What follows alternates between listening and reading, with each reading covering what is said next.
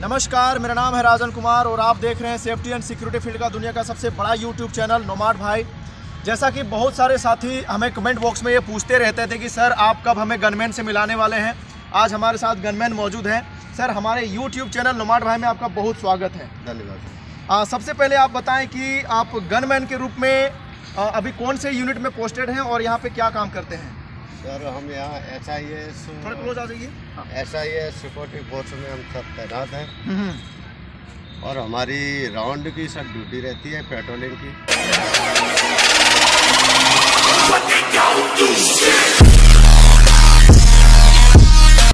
कोई आ गया गेट पे भी देखना और अंदर भी देखना स्टाफ से बात भी करना। हम्म, डे ड्यूटी सर हमारी रहती है। डे ड्यूटी और नाइट ड्यूटी में सर फ़र्क होता है। इधर क्लोज क्लोज में आके लीजिए। एक जगह से लीजिए हाँ। डे ड्यूटी नाइट ड्यूटी में फ़र्क होता है सर। अच्छा तो आप गनमैन कितने दिनों से हैं? गनमैन सर हम 2003 से। अच्छा गनमैन आप कैसे बन गए? सर हमारे पिताजी के नाम ये लाइसेंस था। अच्छा। जी। तो मेरे पिताजी एक्सपायर हुए। एक्सपायर होने के बाद हमने ये लाइसेंस अपने नाम ट्रांसफ़र करवाया अच्छा लाइसेंस आपने आपके पिताजी के नाम का था। फिर आपके पिताजी के एक्सपायर होने के बाद आपने लाइसेंस को ट्रांसफ़र ट्रांसफ़र हो जाता है क्या? जी हो जाता है। कैसे होता है? क्या प्रोसेस होता है उसका? उसमें सर जैसे मेरे हमारा भाई है मेरी बहन है हम्म, माँ है हम्म, ये सब लोग अगर एक स्टाम्प लिख के देंगे डीएम के सामने हम्म, उन्हें कोई आपत्ति नहीं है। हाँ हाँ। तो हो जाती है। तो सर हमारे नाम ऐसे हुआ था मेरे नाम। वेरी नाइस जी। तो गनमैन को गोली कब कब चलाने को मिलता है? क्या गनमैन किसी को भी गोली मार सकता है? नहीं सर गनमैन ऐसे सबको गोली नहीं मार सकता है। गोली चलाने से संबंधित जो अधिकार पुलिस को तथा आर्मी के जवानों को होती है वो अधिकार सिक्योरिटी गार्ड को नहीं होती। बल्कि सिक्योरिटी गार्ड को गोली चलाने से संबंधित बहुत सारे रेस्ट्रिक्शंस होते हैं तथा इन्हें स्थानीय आदेश पर कार्य करना पड़ता है। दूसरा यदि सिक्योरिटी गार्ड पर कोई हमला करे तो सेल्फ डिफेंस के रूप में सिक्योरिटी गार्ड भी गोली चला सकता है। बशर्ते हमलावर भी गोली से ही हमला कर रहा हो तो। तीसरा, यदि संस्थान में कोई चोर बड़ा चोरी कर रहा है या फिर आपके संस्थान को भारी नुकसान पहुँचा रहा है, तब सिक्योरिटी गार्ड उस पर गोली चला सकता है, लेकिन उसे जान से नहीं मार सकता। इसीलिए कमर से नीचे गोली चलाकर उसे सिर्फ़ घायल करना है, ताकि उसे सिर्फ़ चोरी करने से या नुकसान करने से रोक सकें। चौथा यदि कोई व्यक्ति संस्थान में किसी से लड़ाई करता है झगड़ा करता है या मारपीट करता है तो भी सिक्योरिटी गार्ड उसे गोली नहीं मार सकता। पांचवा यदि सिक्योरिटी गार्ड पर कोई व्यक्ति लाठी से हमला करता है तो भी सिक्योरिटी गार्ड सेल्फ डिफेंस के लिए या अपने अधिकारियों की रक्षा के लिए गोली नहीं चला सकता बल्कि उसका मुकाबला लाठी से ही कर सकता है। गनमैन किसी को भी गोली मार सकता है? नहीं सर गनमैन ऐसे सबको गोली नहीं मार सकता है। हम्म, बहरहाल सिचुएशन देख के ही सारा काम करना पड़ता है। हमारा सीनियर है सुपरवाइजर होता है ऐसे होता है। पहले तो हमें अगर मौके पे सुपरवाइजर है हम्म, या ऐसो है हम्म। हमसे सीनियर तो उससे हम आदेश लेंगे। उसके बाद गोली हमें चलानी है या नहीं चलानी है। हमारे ऊपर अगर जान का खतरा है सर हम्म, तब हम कमर से नीचे गोली मार सकते हैं। ऊपर मारने के लिए आदेश नहीं होता। सिविल के लिए जी सर। तो ये गन के बारे में आप थोड़ा बताएँगे ये गन कौन सा गन है और क्या खासियत है इस गन की? ये sir D B B L नाम है इसका डबल बैरल। अच्छा। बारह बोर का है ये। बारह बोर का। इसमें तीन तरीके की गोली आती है। हम्म, हम्म, एक तो आवाज़ करने वाला होता है उसमें खाली बारूद बारूद होता है बस। हम्म, दूसरा होता है एक नंबर दो नंबर का उसमें छर्रे होते हैं। अच्छा। और केमिकल युक्त तो होता है वो राउंड अच्छा। जी। तो उससे अगर दूरी पे अगर मारेंगे तब तो बंदा घायल हो जाएगा मरेगा नहीं। हाँ। अगर पास से मारेंगे तो मर सकता है उससे अच्छा। अगर साइड पे कहीं लगी तो बच जाएगा वो। अच्छा ये आप डिसाइड कैसे करते हैं कि आपको कौन नंबर का गोली मारना है? वो तो सर टाइम देख के कैसे क्या हालात है। हालात देख के अपने काम करना। वेरी नाइस एक राउंड होता है हमारा एलजी का वो सबसे खतरनाक होता है। अच्छा। जी। अगर उसको हम मारेंगे तो उससे आदमी मर जाएगा। अगर कहीं साइड पे लग गया तो बेशक बाँ से वो चीज़ काटनी पड़ेगी आपको। अगर बाएँ में लगी अच्छा उसमें तो जहर होता है फैल जाता है जहर ज़्यादा होता है सर उसमें जी जी। वेरी नाइस तो एस आई एस में आप कितने दिनों से गनमैन हैं? एस आई एस में सर हम दो साल से ऊपर हो गया। ऐसा इसमें दो साल हो गए आपके। जी जी वेरी नाइस ओवरऑल आपको 2002 से गनमैन है। जी जी। दो हज़ार तीन से। 2003 से यानी कि लगभग आपके 20 साल हो गए गनमैन के रूप में काम करते यस आपने बहुत सारे अलग अलग जगहों पे काम किए होंगे। जी जी। वेरी नाइस अभी इतने जगह काम किए हैं वहाँ में से सबसे डिफ़िकल्ट सिचुएशन कहाँ पे आया है?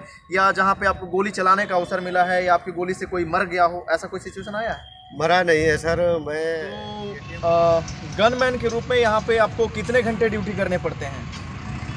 सर ड्यूटी तो आठ घंटे है। हाँ हाँ। चार घंटा ओवर टाइम करता है। अच्छा चार घंटा ओवर टाइम भी करते हैं? जी जी। वेरी नाइस और कितने दिन ड्यूटी करने पड़ते हैं आपको? ड्यूटी सर छब्बीस दिन करना पड़ता है चार चार दिन मिलते हैं। चार दिन छुट्टी होते हैं? जी जी। बहुत बढ़िया। अभी सैलरी कितनी मिलती है आपकी? सैलरी सर हमारा पी एफ़ एस आई सारा कुछ मिला के अट्ठाईस हज़ार हमारा मिलता है। पी एफ़ एस आई सब कुछ मिला करके अट्ठाईस हज़ार 28,000 ग्रोस सैलरी है। जी ग्रोस वेरी नाइस तो एक गनमैन का जो सैलरी होता है मिनिमम अट्ठाईस हज़ार होता है। कह सकते हैं या इससे कम भी या इससे ज़्यादा भी होता है? ज़्यादा भी होता है सर कम भी होता है। तो आप जितने जगह ड्यूटी के हैं हर जगह अलग अलग सैलरी होती अलग है? अलग अलग सैलरी होती है। अच्छा मैक्सिमम सैलरी आप कितना पा चुके हैं गनमैन के रूप में? जी सर। मैक्सिमम सैलरी मतलब अधिकतम सैलरी कहाँ पे मिला था आपको एक गनमैन के रूप में? सर मैं सबसे ज़्यादा सैलरी हमने यहीं आके पाया है। अट्ठाईस हज़ार। जी जी वेरी नाइस तो बहुत सारे लोग हमारे व्यूअर्स होते हैं जो गनमैन बनना चाहते हैं लेकिन वो लाइसेंस नहीं प्राप्त कर पाते हैं।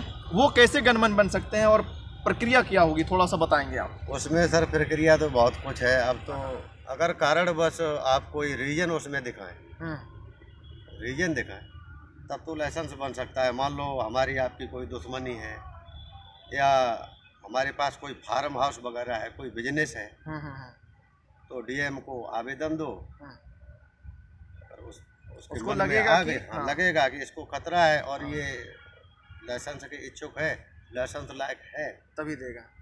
तो लाइसेंस आपको डीएम इशू कर देगा। वैसे तो जो भी लोग गनमैन बनना चाहते हैं इन बातों को ध्यान में रखिए। दोस्तों S I S security company में एज ए गनमैन भर्ती होने के लिए आपका ट्वेल्थ पास होना ज़रूरी है यानी आपके पास इंटरमीडिएट या टेन प्लस टू का सर्टिफिकेट होना चाहिए।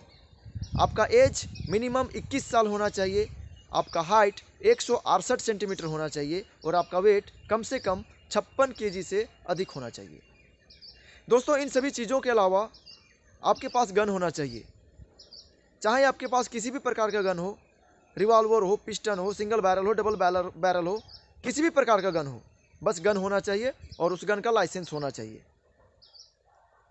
दोस्तों, यदि आपके पास ये सभी चीज़ें हैं तो आप एस आई सिक्योरिटी कंपनी के किसी भी ब्रांच में अपने गन के लाइसेंस का फ़ोटोकॉपी अपने आधार कार्ड का फ़ोटोकॉपी अपने डॉक्यूमेंट्स का फ़ोटोकॉपी और अपना एक अच्छा सा रेज्यूमे बना करके एस आई सिक्योरिटी कंपनी के किसी भी ब्रांच में जमा करा दें।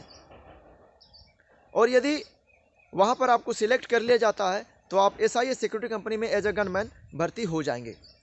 दोस्तों, मैं आपको बता दूँ कि as a gun man S I S security company में आपको बहुत अच्छा सैलरी दिए जाएँगे। स्टार्टिंग में आपको एज अ गन मैन बीस से पच्चीस हज़ार रुपये सैलरी दिए जाएँगे। और यदि आप एक सर्विस मैन हैं तो आपके लिए S I S security company में एज अ गन मैन आपका करियर काफ़ी ब्राइट है।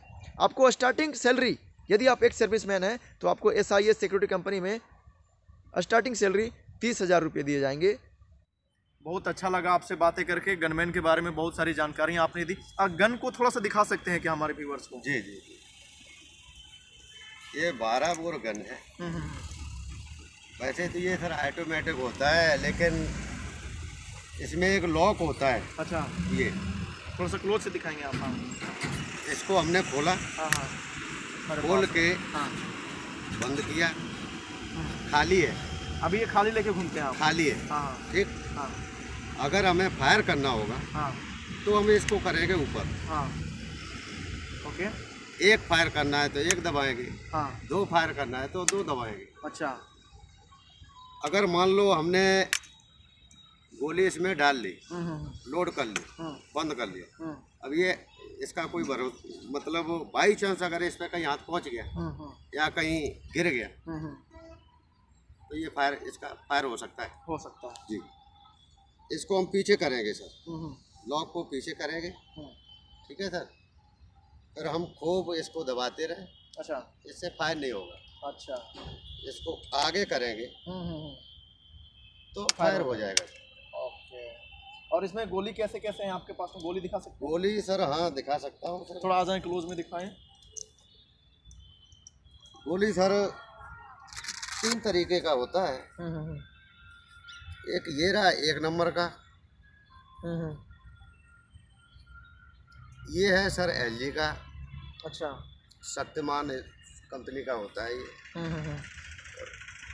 इससे आगे बचेगा नहीं। ये एक नंबर का है। ये एक नंबर है। इससे बच जाएगा। बच जाएगा अगर दूरी पे मारेंगे तो बच जाएगा। और सामने से अगर मान तो? लो ये डायरेक्ट अगर इधर लग गया सीने पे तो इससे भी नहीं बचोगे। अच्छा। अगर ये एलजी का गोली मान लो बाएँ में लगा। हम्म, हम्म, या इधर कहीं लगा। छेद हो जाएगा पूरा। तो ये सर फाड़ देगा मतलब इसमें केमिकल युक्त होता है। अच्छा। हाँ। जला देता है ज़्यादातर। हम्म, अगर बाएँ में लगा। तो ये बाएँ को रखेगा नहीं यहाँ से ख़त्म कर देगा। अरे खतरनाक है पूरा केमिकल युक्त जी जी जी। वेरी नाइस तो अभी आप लोगों ने एक गनमैन से हमारी बातचीत सुनी। गनमैन साहब ने अपने गन भी दिखाए गोली भी दिखाए और गनमैन बनने की प्रक्रिया भी बताए। और अगर आप भी इंटरेस्टेड हैं गनमैन बनने के लिए तो जो भी प्रक्रिया बताएँ उसे आप फॉलो करें और आप भी गनमैन वीडियो को लाइक करें शेयर करें तथा चैनल को सब्सक्राइब करना ना भूलें। मैं था महार राजा